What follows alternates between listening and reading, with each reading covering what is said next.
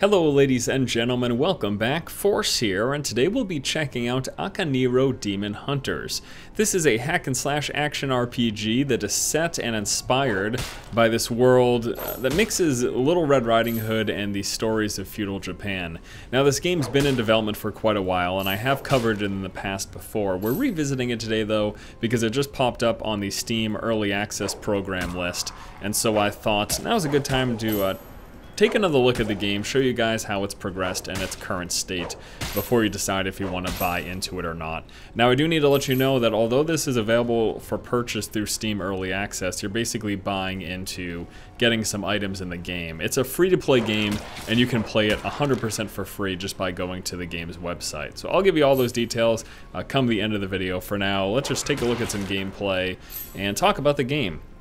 So once again, a hack and slash action RPG. As you can see here, I am running around hacking and slashing. Uh, my character that I'm playing is actually a fortitude focused character who has innate benefits in uh, defense and two-handed weaponry.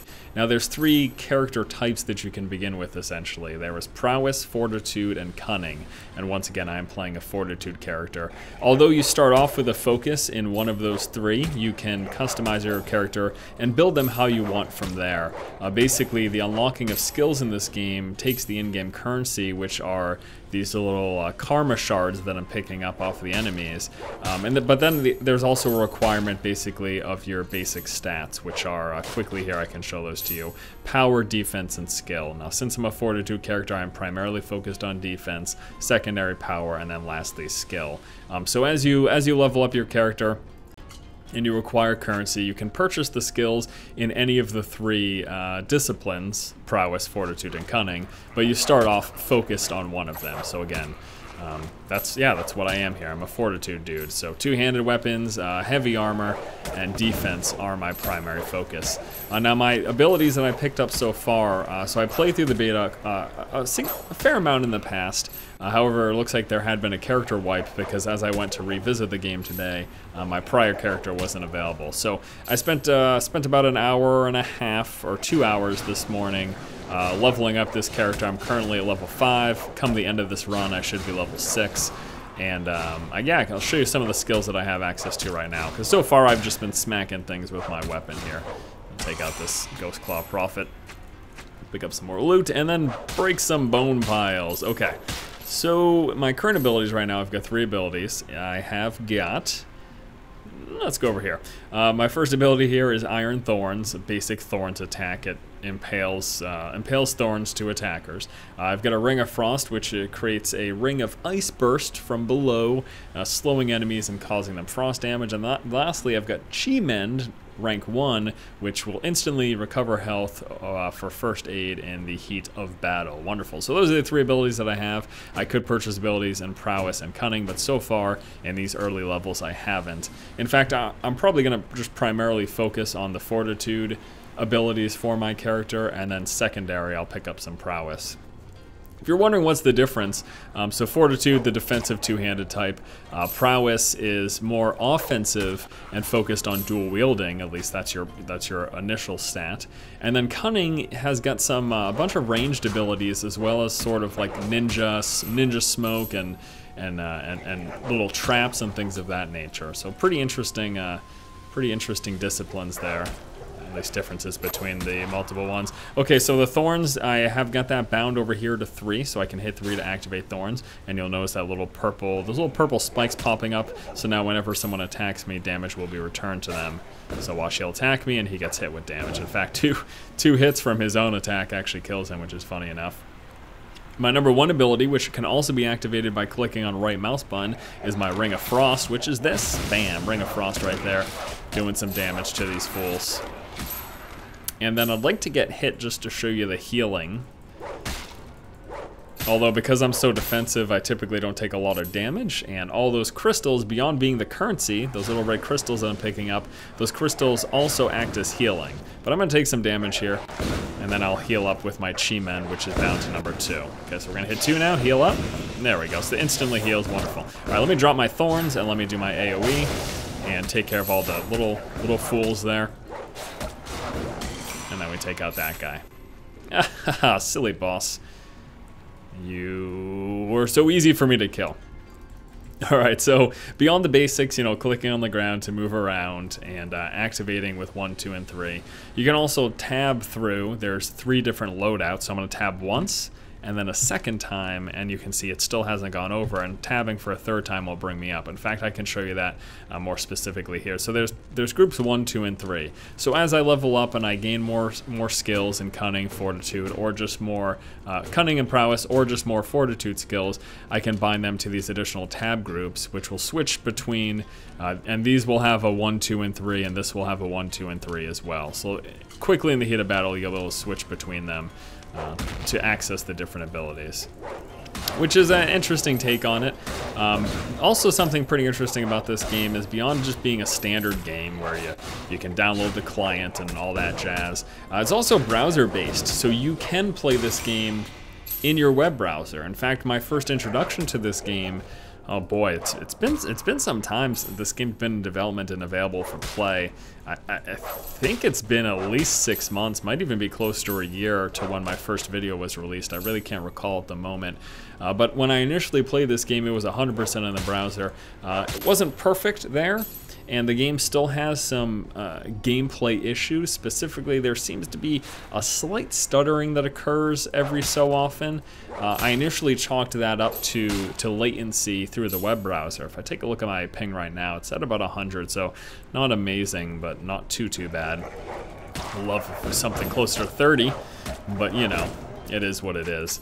Um, but yeah, I initially chalked the slight stuttering up to the fact that I was playing through a web browser and I figured it just, you know, it's a game in a web browser, so if it stutters a little bit, whatever. If there's a little bit of a little bit of delay in attacks and, and responsiveness. Basically the time between me killing something and then it dying and items popping up, or even my character just responding to clicks. Um, there's still that slight delay, even though I'm currently playing the downloaded client version of this game. Now there appears to be still, still a little bit of a delay, which is quite unfortunate, but it's still in development. The game's not 100% complete, so you know, it's available again through Steam Early Access, so clearly they're saying, hey, we're not finished right now, we're still going through development. In fact, I'm, I'm positive of that because of the fact that uh, there's still quite a few features in the main town even that aren't available at the moment. But I have to say, though, um, I still like this game quite a bit. There's a couple of things I like about this game. Uh, the, the, biggest thing, though, oh, look at this treasure all over the place. We'll take a look at loot in a moment. Uh, the biggest thing, though, is I love the, the theme and the art style in this game. I think it's pretty obvious by now if you've been watching my videos. I like the cartoony, cel-shaded vibe. I liked Borderlands. I liked uh, the aesthetic behind Call of Juarez Gunslinger for that reason as well. I just really like the way it looks and um, and just the tone that it sets. So this is the same type of a game. We've got the cartoony, cel-shaded look, and I I think it's great. I adore it. I really do. And we do have one more quick area over here that I'd like to explore before we leave our current position. Once you've completed your mission, this little gem will pop up that will let you, you get to click on it to return to your village. And if you didn't already figure it out, health, mana. There you go. Those are the two. Those are the two little icons right there. Uh, and then there's also there's I, A, and C. I is for inventory, A is for your skill tab, and C is for your character panel. And then there's also a T thing, which still hasn't been implemented into the game, so I don't know what what it exactly implies. In fact, that's something that wasn't there um, back when I last covered this game, at least a few months ago. So I do wonder when they're going to implement that and exactly what it is, to be honest with you. I'm not positive right now. I can't believe there's still so much to explore over here. I finished the main objective and we still got all these little wolves and wolverines and werewolves and oh, we still got all these things to dispatch of. Okay, looks like it was just a side branching path right there that looped up around. All right, so we finished the mission. We've killed all the baddies. Let's go ahead and return to the village. This is the uh, the center base of operations, if you will. Uh, this is where you pick up quests and interact with NPCs. So I have leveled up here. Uh, and also got a karma reward for completing the mission, total experience gained, all that wonderful thing. And since we leveled up, I can show you the leveling up process. Every time you level up, you get to choose if you would like to upgrade your prowess, fortitude, or cunning. I am fortitude focused, so we will level up our fortitude, which will increase uh, defensive abilities. And this shows you the distribution. So I got plus three defense, plus two power, and plus one skill. And then also got some health there as well. Fantastic. Okay, so we've leveled up all sorts of fun stuff. Uh, we got a bunch of items in our run, so why don't we take a look at what we got.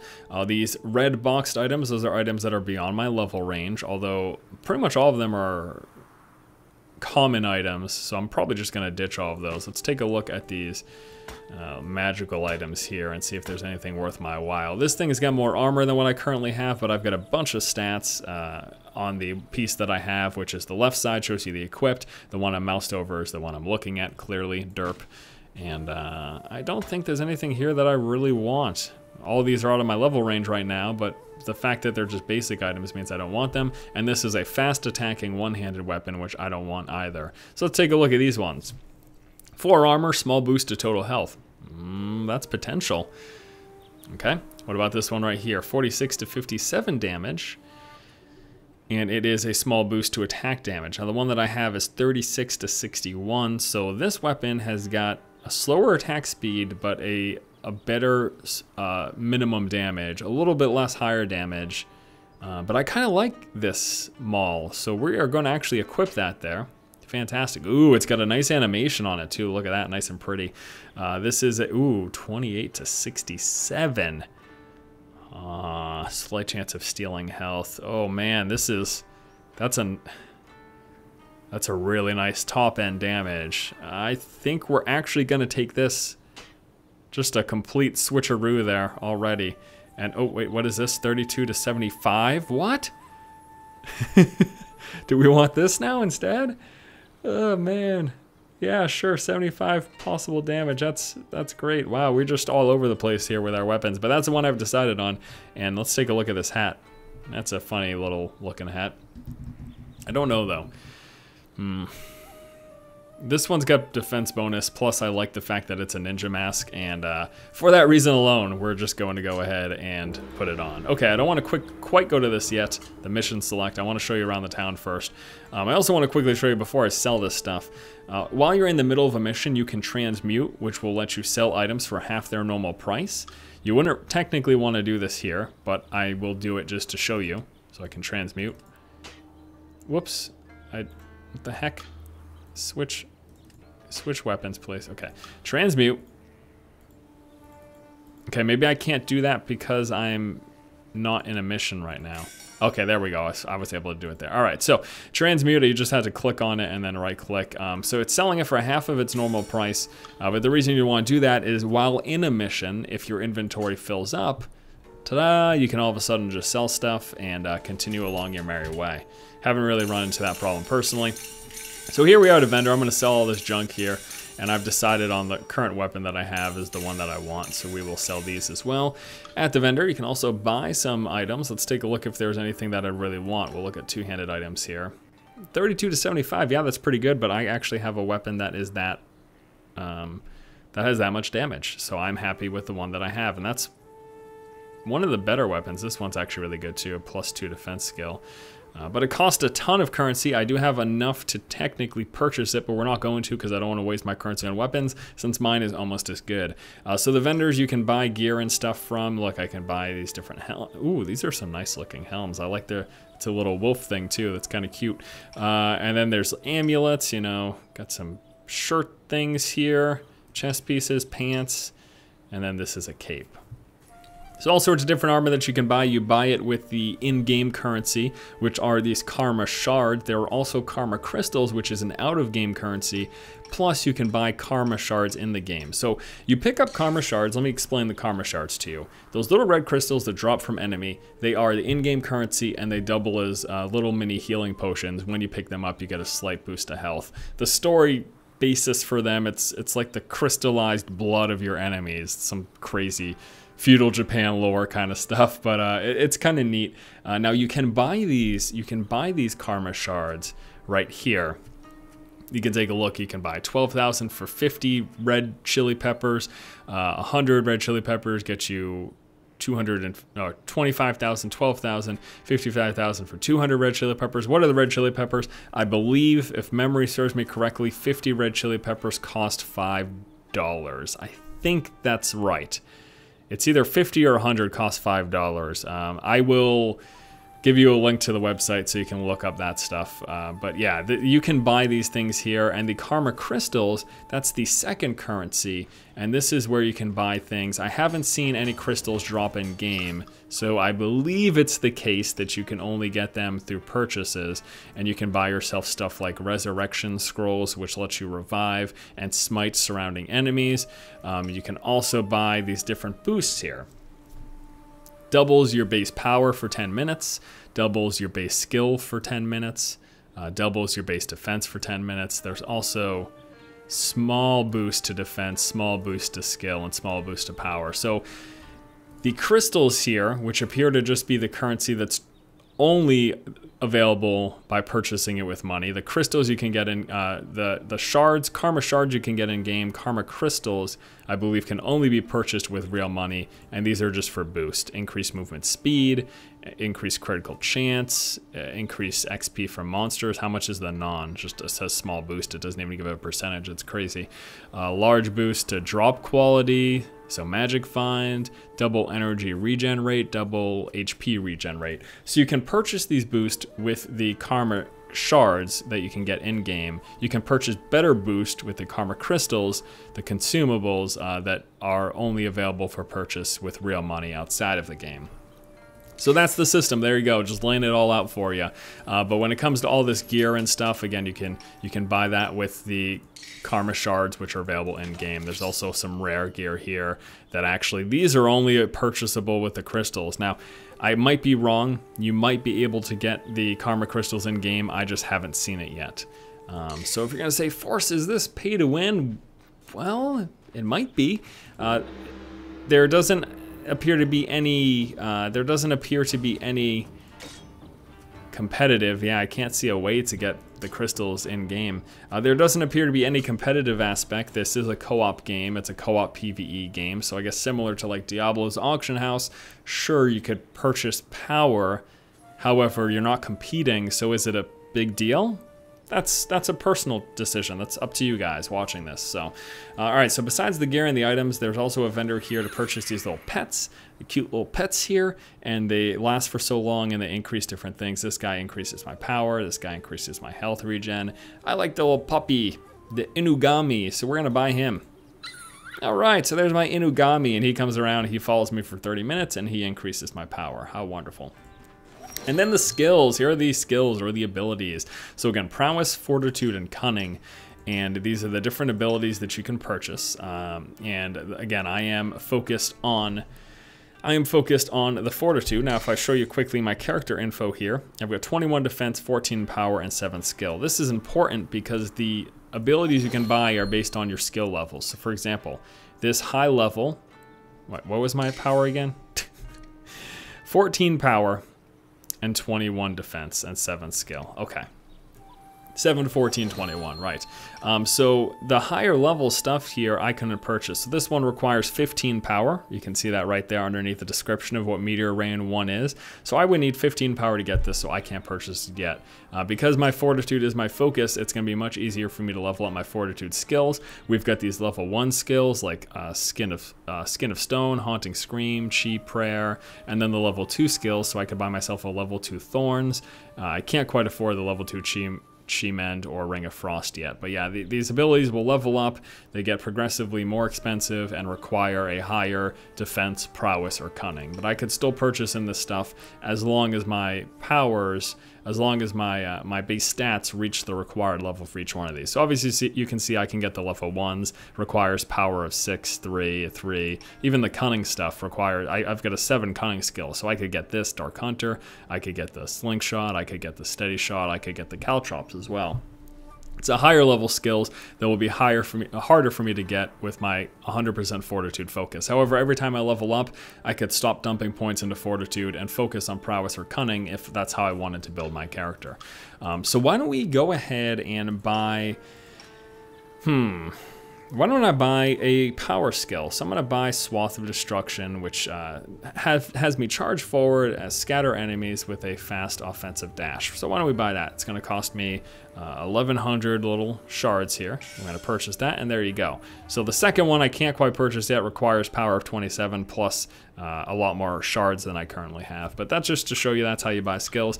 Beyond the abilities of the three disciplines, there's also masteries. I am I begin the game with a two-handed mastery, so I can then purchase two-handed mastery level two, or if I wanted to get uh, dueling or dual wielding, I could purchase those as well. But I'll, likely just continue to focus on two-handed. And then an armor mastery, I start off with level one heavy armor. I can then purchase uh, level two heavy armor and continue that progression there. And I think that's everything in the town. Uh, so let's go ahead and hop in and show you the mission selection screen and show you a little bit more gameplay as we wrap up this video. Uh, so I have just finished this mission right here. You can replay the missions you've already done. So these are the missions that I have done. This was the first one, and then I continue to progress here, here, and here, and this is the next mission available. You can go back to those missions. Notice the one star rating, so that means I've finished the first difficulty. I could go back and then do the second difficulty, and then there will be a third and a fourth difficulty. The difficulty just makes the enemies harder in that particular level, also increases the rewards that you get from the XP and the Karma shards. However, you cannot consistently spam redoing these missions because there's a cooldown. You can see a three minute cooldown remaining on this mission, a six minute cooldown remaining on the mission that I just completed right here. Uh, through the purchase option of using the Karma Crystals, you can finish a cooldown so that you can continuously spam farming. Uh, so that's another thing that you can use real money to sort of speed up that process. Uh, I believe when I finished this mission, the cooldown was, I think, 30 minutes? It might have been 60 even. It was a lengthy cooldown when I finished this last mission, and you can see it's still just finishing up now. Uh, but yeah, that's the other thing. So there is replayability in these missions through increased difficulty. However, there's a cooldown every time you finish one um, before you can do it another time. But I've never had to sit around waiting. I've never felt like I've been forced to purchase because I've just been continuously able to progress the story and go from mission to mission. What's going to happen when I have all the levels unlocked and then I want to try redoing those levels? I don't know how long that cooldown is going to be, so I don't know what that system is going to look like. Honestly couldn't tell you. What I can tell you, though, is that this game is, for me, fun. I've been enjoying it. Uh, let me actually I gotta do this setup here. So why don't we drop... Hmm. We could just do a second group here. We're gonna do the Swath of Destruction for my number one. And then for my number two in the second group, we will throw down Thorns and the Heal. So the only thing I'm switching between group one and two is the number one ability. So we'll have our Swath of Destruction there. And again, we can tab through, and there we go. Now all of a sudden this pops up. So I love the setting, I love the world, uh, like the environment, the art, the artistic uh, style here. I just think it's it's a it's a really neat it's a really neat place uh, setting for a game to take place. Uh, I could see people being concerned about the store stuff. I have to get some more information as to whether or not the karma crystals are available in game.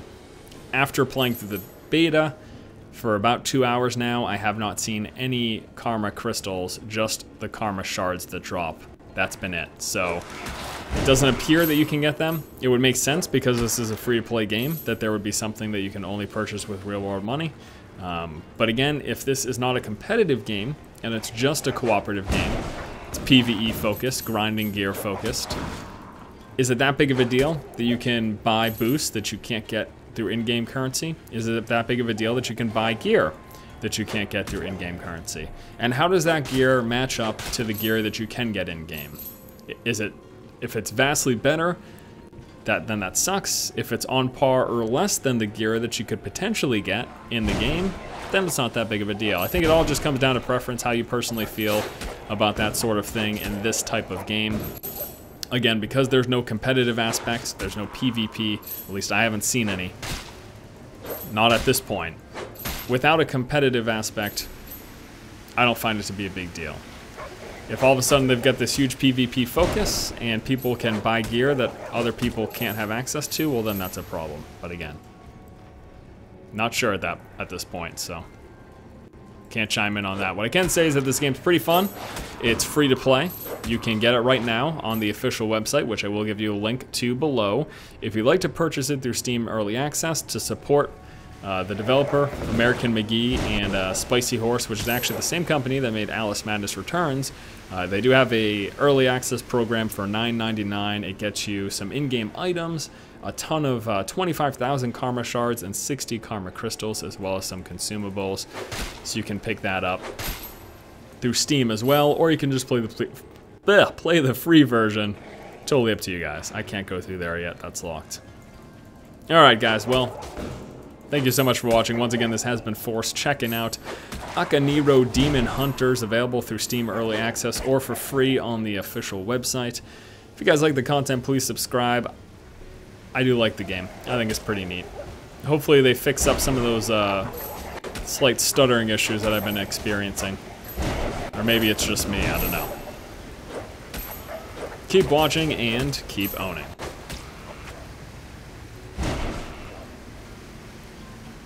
Ooh, crystals. Aha, a secret room. What is in here? Something secret? The heck is that? Serious? Oh wow, it's like a whole little cavern. This must be where Smallwind resides. Smallwind? Sounds dangerous.